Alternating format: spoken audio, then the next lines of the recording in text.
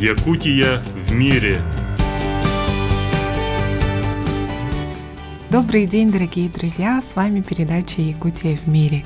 И у нас сегодня замечательный гость, который только-только вернулся на свою малую родину, в нашу Якутию, а, Евгений Кривошапкин первый якутянин, который забрался на вершину Эвереста. Добрый день, Евгений. Добрый день. Спасибо большое, что согласились с нами встретиться. И традиционно мы просим наших гостей рассказать немного о себе. Спасибо, что пригласили. Ну, меня зовут э, Кривошапкин Евгений. Я родом с Аймеконского района, село, село Тамтор. Там я родился и вырос. Сейчас я работаю в поселке Уснере, ну вот так вкратце. А чем вы занимаетесь? Я сам кадастровый инженер, работаю в Уснере. В свободное время занимаюсь туризмом, вожу людей на, в горы. А как давно началась ваша любовь к горам? Ну, вообще, это 2010 год. Мы с друзьями совершили этот сплав по реке Андигирка с поселка Уснера до села Хону. И вот там совершили восхождение Мумские горы. Думали ли вы тогда, что вы попадете на Эверест? Ну, Наверняка нет. Как а... это вот такая идея пришла к вам в голову? Как зародилась эта мечта, можно сказать? Ну, мечта зародилась э, как бы само собой. Вокруг поселка Уснера это везде горы. И мы э, с друзьями ходили на гору Афродита. Ну, много раз. И после этого у меня такая мысль зародилась, что сходите на самые высокие горы э, Якутии. Это гора Победа и гора Мусхая. После этого сходить на самую высокую гору э, России. Это гора Эльбрус. После этого сходить на самую высокую гору это, ну, мира. Это гора Эверест. Вот так и получилось. Я сходил на самые высокие горы Якутии, потом России, и уже начал думать про гору Эверест. Ага. А, и наверняка вы долго, тщательно готовились. Можете об этом рассказать? Как вообще нужно готовиться? Ну, это уже э, подготовка началась с горы Афродита. Когда начинаешь ну, ходить в горы, это уже как бы считается подготовкой. Ну, у нас э, самые высокие горы – это гора, э, повторюсь, Победа и гора Мусхая. Вот туда дойти тоже само по себе очень сложно. Да. И это тоже очень хорошая подготовка к восхождению на, на самые высокие горы мира. А теперь, наверное, о самом восхождении на Эверест, да, говорят, что это очень сложный путь, долгий путь. Можете вот от самого начала. Да, как это... долетели до Непала, да, и, и да, так далее. я 8 числа прилетел в Катманду, ну, Непальский район.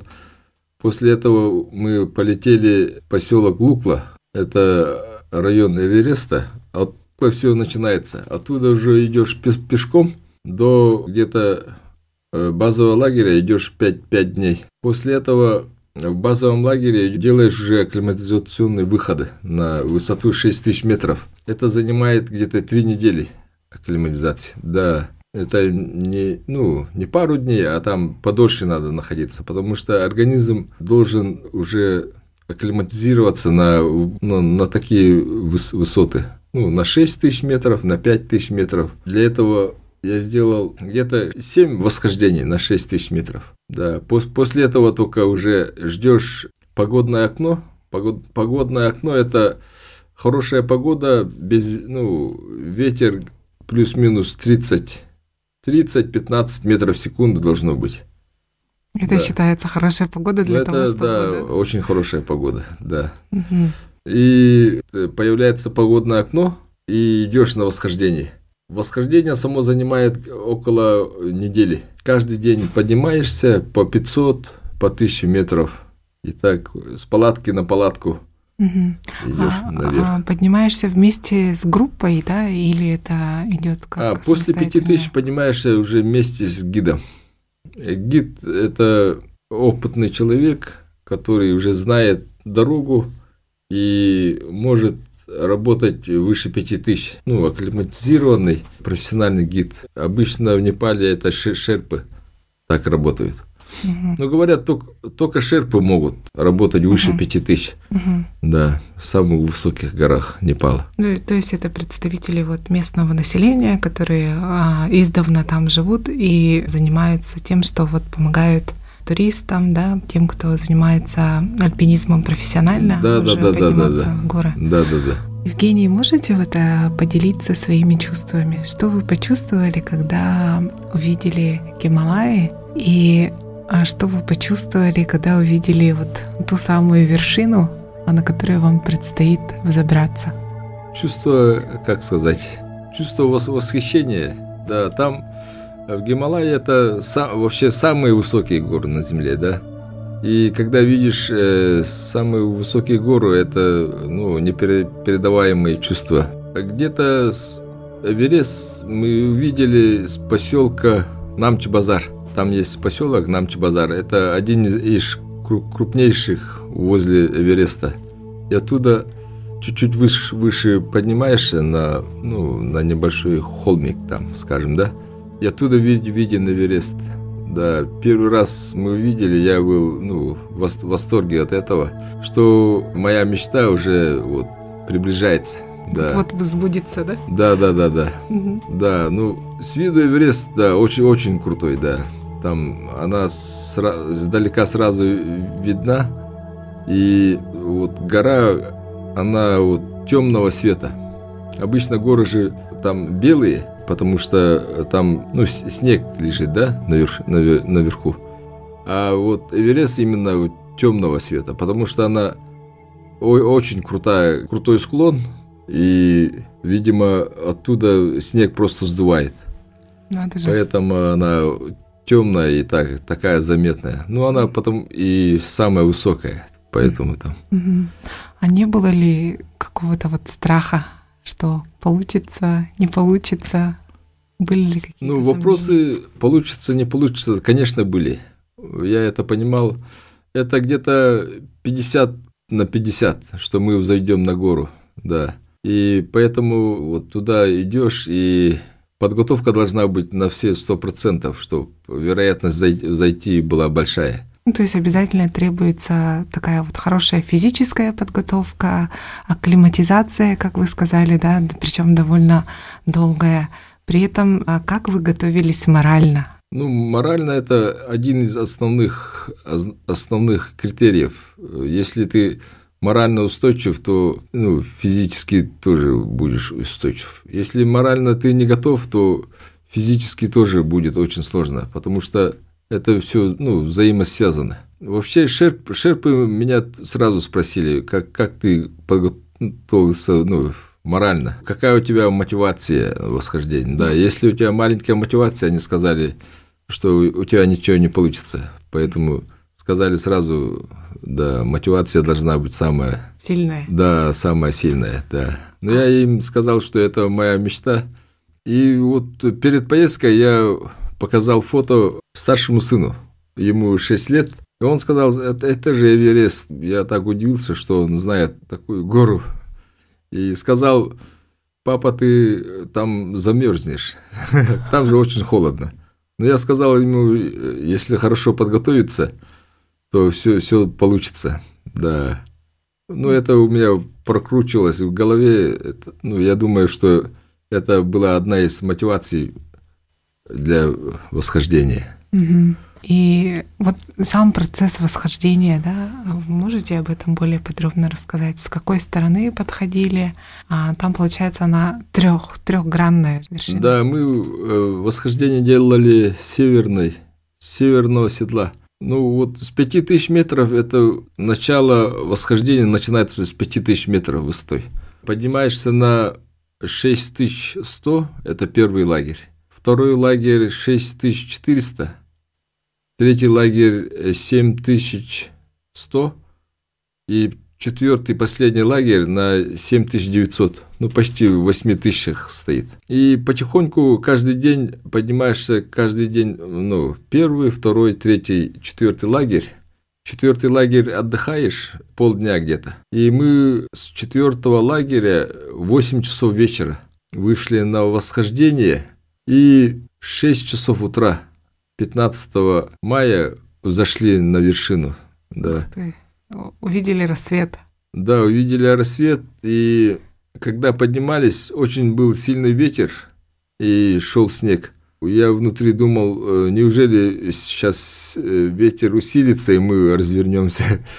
Но, к, к счастью, ветер на вершине чуть-чуть утих, и мы вот поднялись с моим гидом, Пасангом Ламой. Пасан Лама вообще уникальный человек, он был выше 8 тысяч, около 30 раз.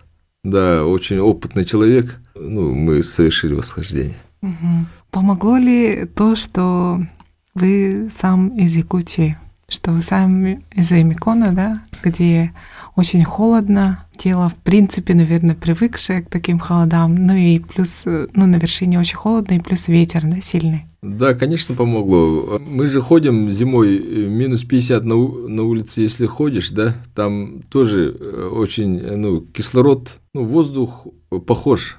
На Эвересте выше 8 тысяч, там тоже разряженный воздух, и ты ходишь на, в кислородной маске. Но все равно, тем не менее, все равно кислорода не хватает, потому что кислород, э, чтобы тебе хватило наверх и вниз, кислород ставит на, на не максимум, а так... Чтобы экономно расходовать. Да, на минимальное там, ну, чтобы хватило тебе только. И это состояние, ну, более-менее вроде как так же, как и минус 50 градусов. Да, у нас, когда холодно, ты не можешь полной груди дышать, да? Там, там тоже самое. Там ты полной груди тоже не, не дышишь. Угу. Примерно то же самое. И вы вот, получается, встретили рассвет на Эвересте. Что вы испытали?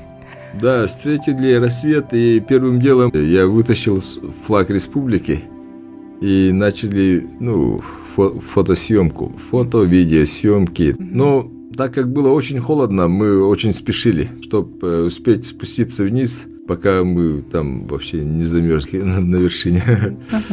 Может быть, поделитесь рассказами своего гида, да? Сказали уже, вот он поднимался 30 раз вместе с разными людьми из самых разных точек мира. И наверняка эти 30 раз ну, не каждый доходит, да, до вершины. Mm-hmm. Это совсем небольшой процент людей, а, которые смогли это сделать. Какие вот его истории, ну, больше всего вам запомнились? Но он ну, мне сразу сказал э, вот насчет мотивации, да. Но он очень опытный, поэтому он сказал, там ну, на вершине будет очень холодно, и ты должен ночевать в палат, палатках. И когда очень холодно, ты иногда люди говорят, не могут выйти даже из палатки. Да, он сказал, если даже будет очень холодно, ты должен выйти из палатки и идти наверх да, для этого у тебя должна быть очень сильная мотивация. И он очень хорошо все объяснил. И как он сказал, так и случилось, да. Угу. Там было ну, довольно сложно, но мотивация меня толкала вверх, да. А вот что вы чувствуете, думаете сейчас, когда уже ваша мечта исполнена? Я вообще-то вот до сих пор с трудом верю, что у нас все получилось так хорошо все еще период осознания. Да, я вообще благодарен а, вот жителям Якутии, что меня поддерживали, когда я поднимался наверх. Они, ну, до пяти тысяч у нас связь была, да, там сотовая связь, WhatsApp, они отправляли вот слова поддержки, и когда я поднимался, это была тоже мотивация и очень сильно поддерживала. Да, я очень благодарен за это. Можно ли спросить Евгений про, по поводу вот, подготовки с точки зрения финансовой стороны, да? Это очень дорого.